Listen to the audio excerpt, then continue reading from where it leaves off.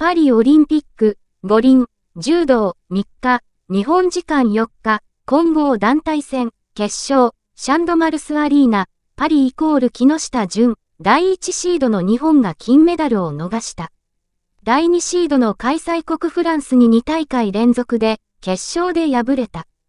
前回21年は自国に迎え撃った東京五輪で1-4の完敗を喫した相手。テディ、コール、国家合唱、大声援の完全アウェー状態になった敵地で3月3日からの代表戦で、デジタルルーレット抽選により、男子100キロ超級5位の斎藤律、22イコールジェスグループが、同級の金メダリスト、英雄、伝説、怪物テディ・リネール、35に敗れ、涙した。男子の鈴木啓治監督は、国の威信をかけた団体戦でフランスに2大会連続で敗れたことを、屈辱と表現。取りたかった。4戦戦勝方式で勝利を計算していた選手は村尾、角田、ひふみ、竹地とした。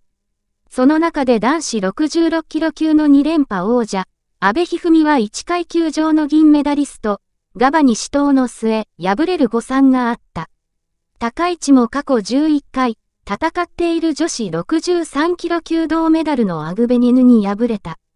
一方、女子78キロ級5位の高山理香が78キロ超級で体重95キロのリコに勝つ大きな勝利も。向こうも誤算はあったと思うし、お互い様、とした。巡り合わせを踏まえ、最重量級については、ウルフ案もあって自分もそう思ったんですけど、最後は、盾を信じさせてくれ、と起用を決断しました、と指名理由にも言及。しかし、その斎藤が怪物に2度、ぶん投げられ、いい試合はしてくれた、が、結果的にメダルの色が金ではなく銀となった。リネール確定ガチャ、と話題になったルーレット抽選については、これも運命かなと思います。